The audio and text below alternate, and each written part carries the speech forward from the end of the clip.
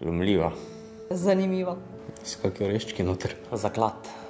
Tale razbitina. Sodelovanje. Eh, škatlica povezovanja in učenja. Stvar, ki je zlomljena, eh, ne zavrže, temveč s popravilom dobi eh, celo na svoji vrednosti. Odnos, kakršen bi mogel biti v gostinstvu in lepoto tega odnosa. So that at the end, the client is left with a surprise, a positive wow.